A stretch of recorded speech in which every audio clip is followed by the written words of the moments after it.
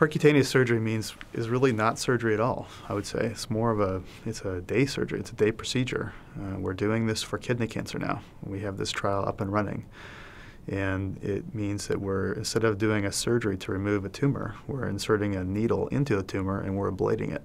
Uh, and we do the same type of procedure for kidney stones as opposed to making a large incision or even several small incisions to do laparoscopy. Make a single hole using a needle and use a very small instrument through that needle hole to take out the kidney stone.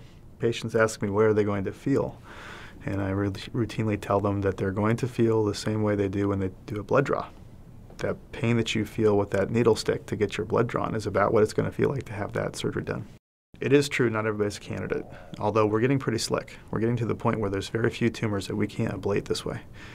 Uh, and the caveat is that we don't know how long we have to follow somebody after we do this to make sure that it's dead, to make sure that it's gone.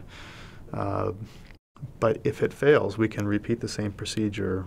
You know, if we, it's not unlike freezing a wart off your hand. You know, you freeze the wart and hopefully it goes away. And if a remnant of the wart is still there, we can refreeze that segment. And that can also be said of cryoablation, percutaneous cryoablation of uh, renal mass.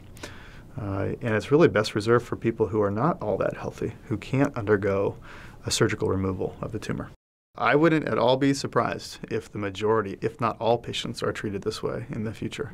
There are major advantages and benefits to it. And um, medicine moves slowly. We're conser- conservative folks. We don't want to change to a new technology unless we know that we're still doing a good job. And that's that is a perfectly valid response to what we're talking about.